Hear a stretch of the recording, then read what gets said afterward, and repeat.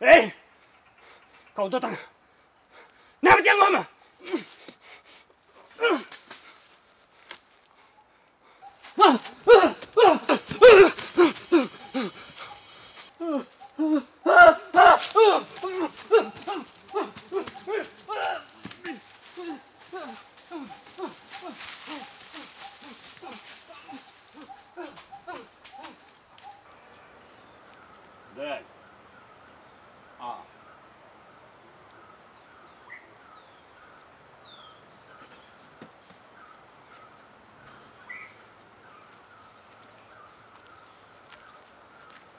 මට මේ ටිකේ හරියට කරද?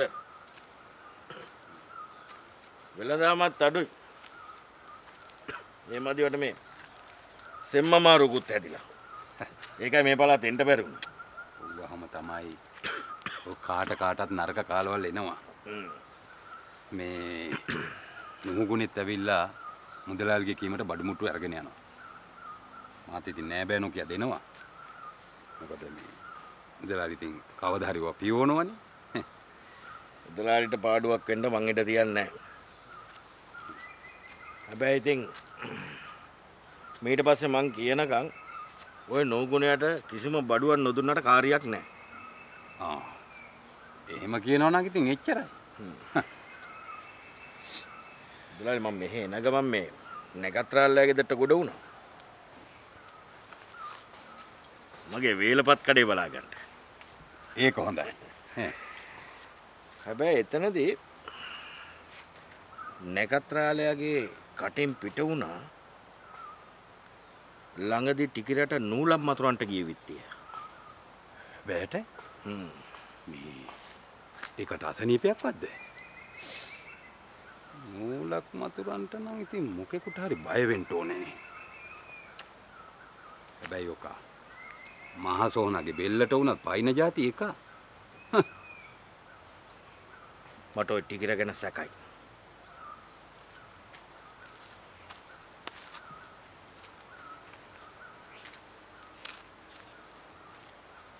මුදල්ටයි මටයි හොරා. මු නිධානවත් ගන්ට ගියාද? ඕක හැබැයි මේ ළඟකද මේ පැත්තේ ආවෙන නෑ මේ කෝකටත් මං ඕක ගැන හොයල බලන්න.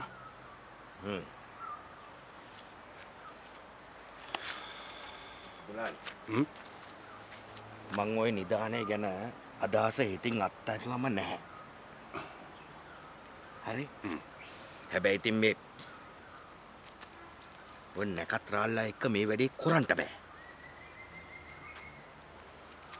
නුවර ඉන්නවා හොඳ මලයාලම් ගුරුකං කරන ගුරෙක් මං උන්ද වගේ එන්න.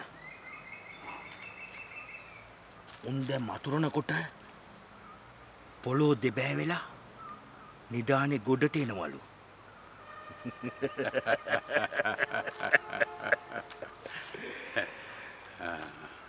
දලාලේ මේ වැඩේට ටිකිර ඕන වෙන එකක් නෑ. දලාලී මායි විතරයි.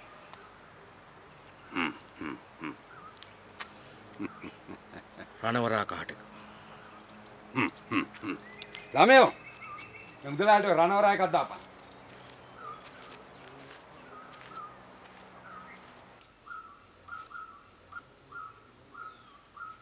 බලාංකො මේ බෛරවයා හීනෙන් පෙනිච්ච හැටි. ඒකෙන්න මැනික මේක දැනගත්තේ මටත් හොඳට ඕම දොස් කිව්වා ඉතින් මං කිව්වා මට නොකිය නිලම කිසි දෙයක් කරන්නේ නැහැ කියලා. ඒ විශ්වාසයට කට පියාගත්තා. රජ්‍ය කාලය වගේ නෙවෙයි ඉංග්‍රීසි කාලය ආවට පස්සේ අපිටත් අමාරුයි. කංකාරිය කරන්නත් අතේ තියෙන කාසි ඒකෙන් ද නිදාන හිතින් අයින් කොල්ලක් බෑ. එහෙමයි කියලා මේ වෙලාවේ නිදාන්ට අත ගහන්නත් බෑ. ඒ වගේම ඉතින් වෙන කුට ගන්න දීලත් බෑ. වෙන කවුරු ගන්නද?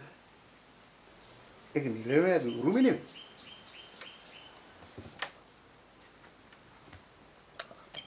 ඒ වුණාට එදා නැකතගේ කතාවෙන් පස්සේ මට ඌ ගැන හැක හිතුණා. ඌ කවුරු කවුරු එක්ක හොරෝ දේවාල භූමිය හොයාගෙන ගිහින් තියෙනවා. මේකව මරන්න බෑ තාංකෝ අපි හෙමීට ඌගෙන් අහ කියා ගමු එක. ඔබ ඌ ගැන හෝදිසියෙන් හිටහම් මොකාද ඌ හම්බෙන්නේ එන්නේ කියලා. හොඳමයි මම සෝසියෙන් ඉන්න ජාඩියන් කරා.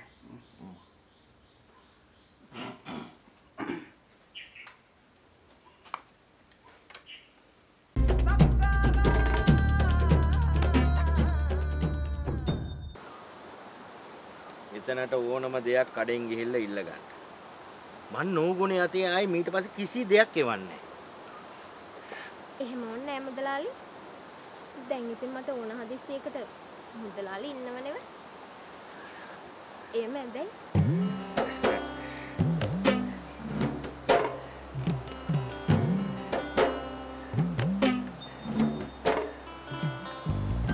මං කීප දුහක්ම එතන ලෑ ගෙදරෙන්ට තැනුව. නෝගුණේ මොන මොනවදෝ කියලා ඒක වැලැක්කුවා. එතන ගෙදර නැහැ කියලා. ඕම් බලමුකෝ. මාත් කීප දහක්ම කිව්වා. නුහුගුණේට මුදලාලි තැන් තැන්වල මුලිච්ච වෙන එකේ අපි දිහා එක අයින්ට කියලා. ඒක කියා අපි මාත් කී දවසක් කිව්වද මුදලාලි මගහරිනව නෙව කියලා? බලන්නකො වැඩේ හැටි. ඔකගේ හොම්බ තලන්න එපෑ. මට එතනලෑ දිහා එන්ට පුළුවන් නම් මම්මක්කට ඒ අර කරෝල ගඳක ගහර කඩවල් ගානේ නිදියන්නේ. මට එතනලෑ අගුපොලෙ වුණත් සැපයි නොවේ. පිලේ මොකටද? අපේ දිහා කොට්ට පැදුරු නැතුව? මම වෙලාවක නොහුගුණයට හොරෙන් එතනලයි දිහා එන්න. එන්ට මං තෑග්ගක් ගෙනාව.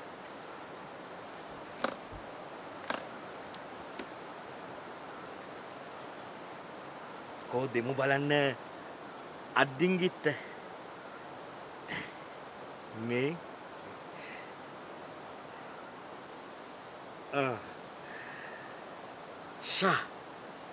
පංකාදු නොෑ ඈ? බහරි හැඩයි බා. ෂා. දැන් තමයි නියම රං එතන. ඈ? හැඩයි බා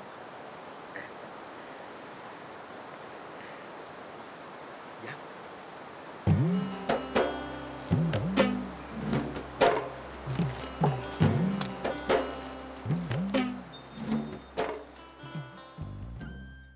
නැට්ටුවොයි වෙරකාරයෝ කිව්වහම ඉතින් කවදත් ටිකක් ආඩම්බර නොවේ. හැබැයි ඒගොල්ලා දැනගෙන හිටි සාත්තරයට අමතරව ගොවිකමයි වෙදකමයි බොහොම හොඳට කරගෙන හිටියා. දැනගෙන හිටියා. ඒ කාලේ රදල උදවියත් අපේ අයට හොඳට සැලකුවා. ඔය කංකාරියකට බලියකට එහෙම ගියත් වලව්ව කිට්ටුව පාතක නතර කරගෙන ස්තරම් විදියට තමයි කන්න බොන්න දුන්නේ. හ්ම්. මටත් ඉතින් පොඩි සංදියේ ඉඳලාම ඕවට යන්න එන්න පුළුවන් වුණානේ. එතකොට අපච්චි බස්නායක නියමිලාගේ බලව ඒ කාලිනම්ම කංකාරි නටන්න ඇති නේද? මන් දැකපු ලොකුම කංකාරිය තිබුණ ඔය වලව්වේ තමයි. එතකොට හිටියේ ඔය දැන් ඉන්න නිලමේගේ අත්තා. බොහොම තේජවංශ පෙනුමක් තිබුණේ. ඒ වගේම තමයි කාටත් බොහෝම කරුණාවන්තයි. එදා ඒ කංකාරිගේ අඩි සීයක් විතර දිගයි.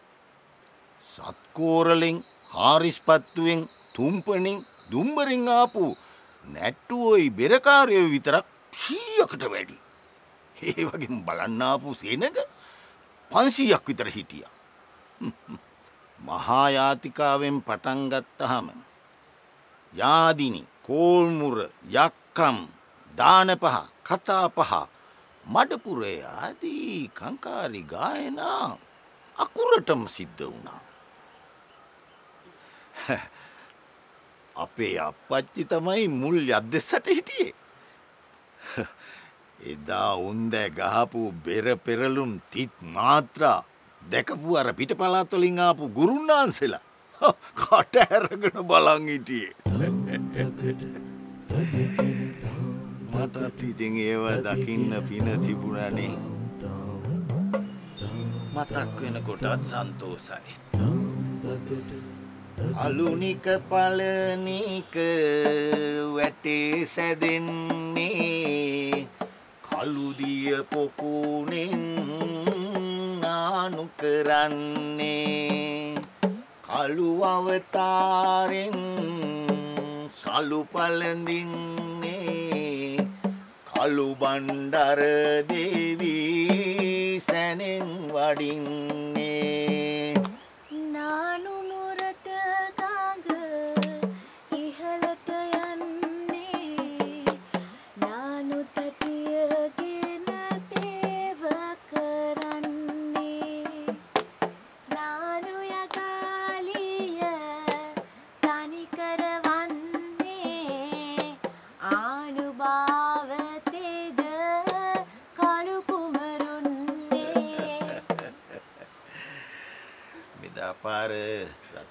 රතිදුවත් යනවන හෙද වලව්වේ කංකාරිය බලන්න.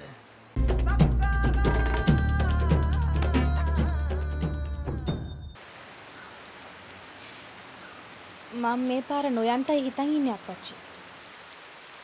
ඒම හොඳේ. ඔය දරුවටත් සෙත් සාන්තියක් වෙනවනි. නොගිහින් ඉන්න එපා.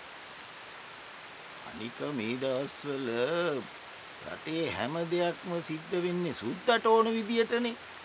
ඒක නිසා ඔය කංකාරි වගේ දේවල් කොයි කාලෙක ආපහු දකින්න ලැබෙයිද කියලා කියන්න බැහැනේ. ඒ නිසා පුතත් එක්ක රතිදුවත් යන්න. කොමලිලත් යනවනේ. යමු යමු රජීනගා අපිට බඩ පැලෙන්ඩ කත හැකි. මන්නම් මඩුව හදන දායනං එහෙ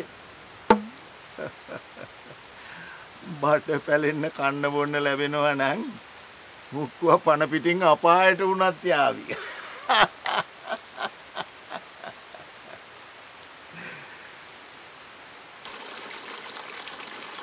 එතන උඟක් කාස්කන් තියෙන තැන. ඒකෙන්ම තේරෙනවා එතන නිදාන දෙක තුනක් හරි ඇති කියන එක. මේක කොහොම හරි ගන්න ඕනේ සුද්දා. මම ওই වැඩේට කැමති නෑ ටිකක්. කාසි පණන් ඕනි තමයි. ඒත් ඒක අපි හොයන්න ඕනි දාඩිය මහන්සි. අනික ඔය නිදන් හාරලා විනාශ වෙච්ච අය ගැන මිස දියුණු වෙච්ච අය ගැන මං අහලා නෑ. නිදානේ ගත්තට පස්සේ කවුද අනබෙර ගහන්නේ? ඈ? මට මේකට උදව් කරපන් සුද්දා. මම උඹට කොටහක් දෙන්න. මට උඹේ මුතු වැටයක් අත පාටි කිරෝ.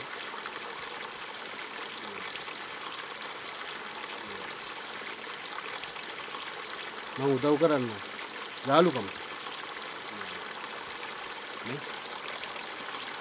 මට හොඳ කපුවෙක් හොයලා දියා. මම හොයලා බලන්න. අන්නම් කියලා හරියන්නේ නැහැ නේ සුද්දා. කොහොම හරි මේක කෙරෙන්න ඕන. පිටේ වුණොත් දැන් මේකට ඇහැ ගහගෙන ඉන්නේ.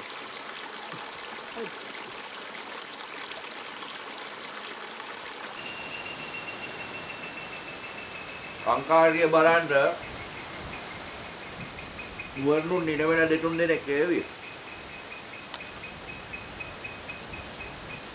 එවුන්ට හොඳට සලකන්ට පෑමැනික අංගය වටු බංගලාවක වැඩ කොරන කෝක අපපු කෙනෙකුට එන්ට කිව උයන්ට මැනිකට තියනේ වැඩ රාජකාරි බලා කියාකට විතරයි අනේ මට නම් බෑ ඌට මාන්සි වෙන්න. අපේ දේවල් වලට අපි මහති නොවි පුළුව නෑ. අනිත් එක මේ වගේ ශාන්ති කර්මයක් කරාම ඒකේ ප්‍රතිඵලය තියෙන්නේ අපිටම නෑ. ඔය නැගත්වාල කියවුවේ කාටදත් මැනිකෙත් නම් යහපතක් වේවි කියලා. ඕක ඉතින් ඔය තරම් දීප හදන් කරන්න ඕනේ. ඕකට තමයි කියන්නේ ලෝකට පරකාස ගෙදරට මරගාට කියලා. ඔය කියව්වේ.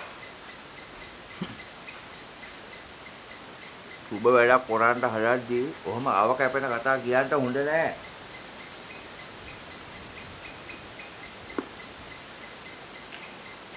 මම නිලමෙන් කාරණාවක් අහන්න තියෙනවා. හ්ම්.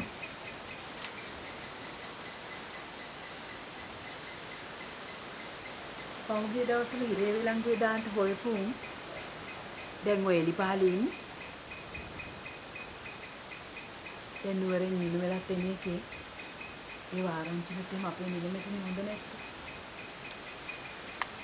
අන්න දැක්ක ඔය සුද්දා කියන එක අව ඉස්සරහා පාරින් යනවා දවසක්.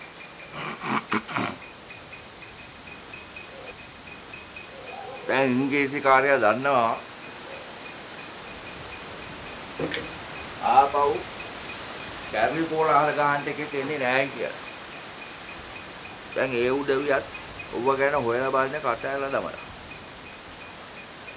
පෞගිය ඩොයේ මෙහෙ විතර නෙමෙයි. මුරුසිය සිංහල හිතකාරයෝ නිදහස් කොල්ලයි කියන්නේ.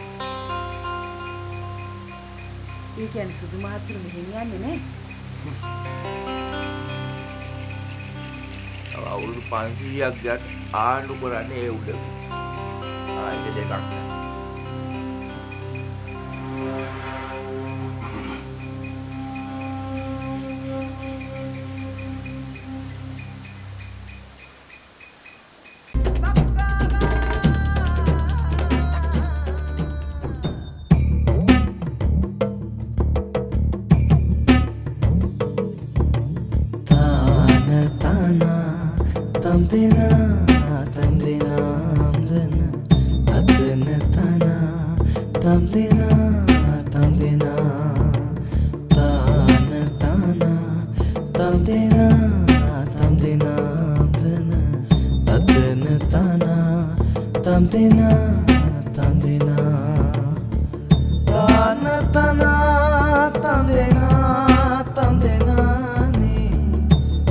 தன தான